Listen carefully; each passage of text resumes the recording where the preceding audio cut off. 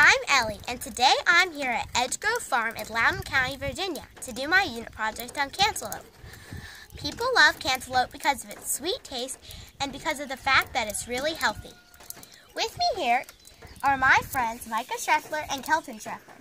They own Edgegrove Farm, and we'll be talking to them in just a minute. Cantaloupe's scientific name is Cucumis melo. When cantaloupe is a seedling, it has big leaves and yellow flowers. Two leaves form at first, and then a green sprout that will soon be the actual cantaloupe plant grows up between those two first leaves. Here are the two first leaves, and here are the sprouts. Let's talk about where cantaloupe grows. Cantaloupe grows on farms in, and backyards in the USA. It does best in temperate places with seasons, but can also grow well in places that are hot as long as there's rain. Some of the places are the USA, Mexico, Europe, China, and India. So Micah, I was wondering if you could tell us why cantaloupe does well here at Edgegrove Farm. Sure, cantaloupe grows great here because we have really rich soil, lots of sun, plenty of rain, and we also water this garden ourselves. We're planting 10 cantaloupe hills this spring, and those 10 plants will give us about 50 to 75 cantaloupes. Wow. So here at this farm, it's kind of like a huge version of our backyard in the city. So can cantaloupes grow well in the city too? Yep, it can grow great in smaller backyards too, as long as you have good soil and make sure it can grow in full sun. Let's go down and see, take a look at the other farm and gardens.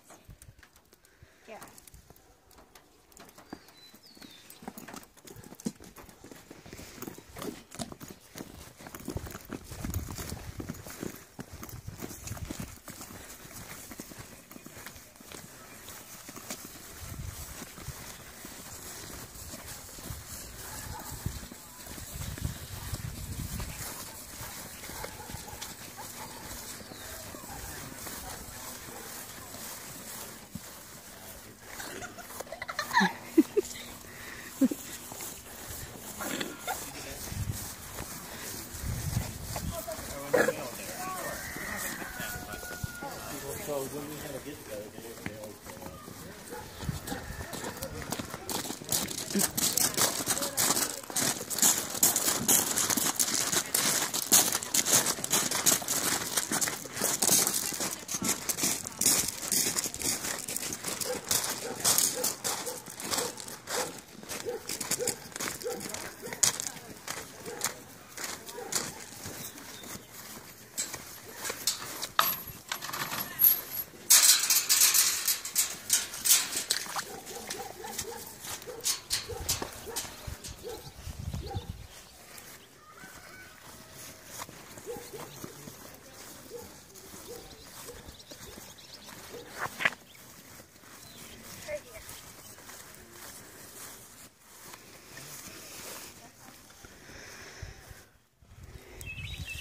It's important to know that cantaloupe is an annual plant, meaning that each plant produces only fruit one season.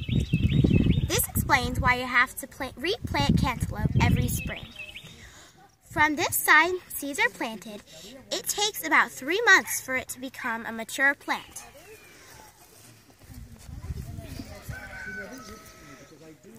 A mature cantaloupe plant can be red, orange, yellow, or tan inside. The plant gives fruit for two or three months and then it dies.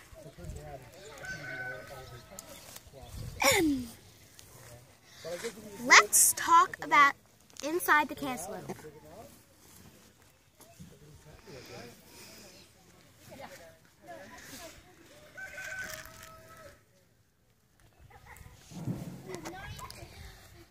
In the middle, each cantaloupe has about 100 to 200 tan-colored long pointy seeds. The hard skin protects the fruit inside and keeps small animals from eating it too much while it's growing. Cantaloupes get their food from photosynthesis, so like Micah said, it needs sunlight, water, nutrients from the soil, and carbon dioxide. All these things are used to make foods from its leaves with chlorophyll. Before we we go, before we go, one fun fact about cantaloupe is that it has grown since ancient times by the Nile River in Egypt. Another thing is many people know it's is that many people do not know that it is that cantaloupe does not ripen after it is picked. So once it's off the vine, it will not get any sweeter. So leaving it on the counter doesn't help it ripen? Nope. One more thing is that in Australia, they call cantaloupe rockmelon. Did you know that? Of course I do that. well, this is the end of my visit to Edgegrove Farm today. I hope you learned a lot about cantaloupe. Okay, let's go.